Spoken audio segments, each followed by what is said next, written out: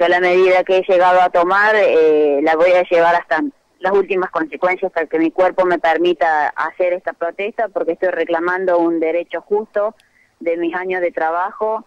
Eh, yo no, no reclamo la reincorporación, yo lo único que reclamo es la indemnización de los años de trabajo.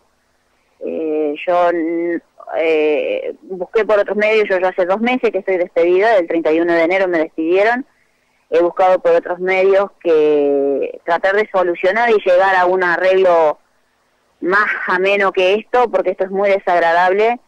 Eh, lo hago eh, por el derecho mío y de mi familia, de mis hijos. Yo no estoy haciendo política, yo no estoy en contra ni del intendente ni de ninguna persona del municipio. Yo lo único que reclamo es lo mío, eh, que son, que es mi indemnización correspondiente, porque ellos primero me despidieron, primero me dieron la palabra, que eso es lo que más me duele, porque ellos me dieron la palabra de que no me iban a despedir.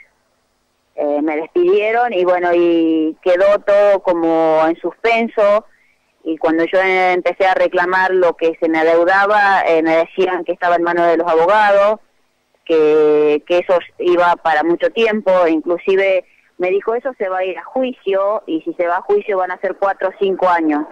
Yo la desesperación mía es el hoy, no quiero esperar y estoy decidida a estar acá hasta que o se revierta la situación o, haya alguna alguna chance, alguna predisposición de, de, esta gente, ¿no?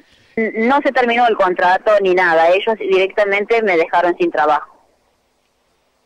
De aquello que se había hablado, nada que ver a que se iba a esperar que te quedaras tranquila, que a lo mejor no, no iba a pasar esto.